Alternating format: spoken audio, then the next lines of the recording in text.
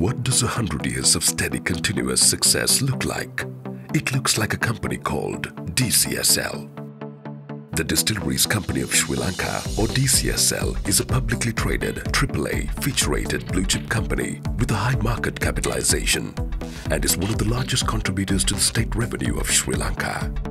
From its very humble beginnings in 1913, the Distilleries Company of Sri Lanka began as a small government entity to regulate the sale of liquor and spirits to the public.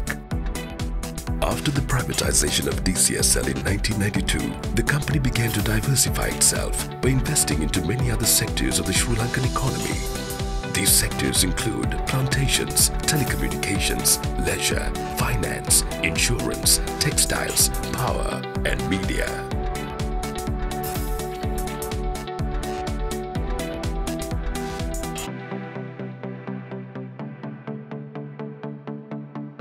Melstacorp, the strategic investment arm of DCSL, was created in 2011 and all the subsidiaries and associates were realigned under it.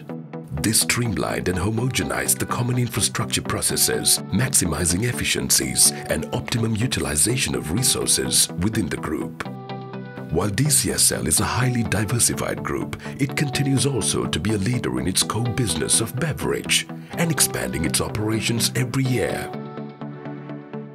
DCSL completed construction of its new bottling plant, which is a state-of-the-art production facility like no other on the island.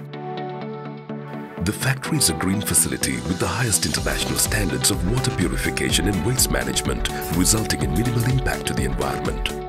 DCSL is also a major contributor to Sri Lanka's economy and has contributed in excess of 167 billion rupees in tax revenue in the past five years. The group currently employs over 12,800 employees nationwide, while also providing indirect employment and commerce to local communities. DCSL continues to deliver year-over-year solid growth, stability and double-digit return on investment for its partners and shareholders.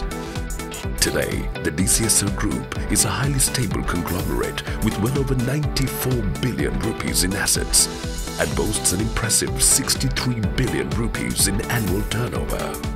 DCSL was named to Forbes Asia's 200 best under a billion USD three times in the past. Business Today has had DCSL consistently in their top 10 list every year since the inception of the award.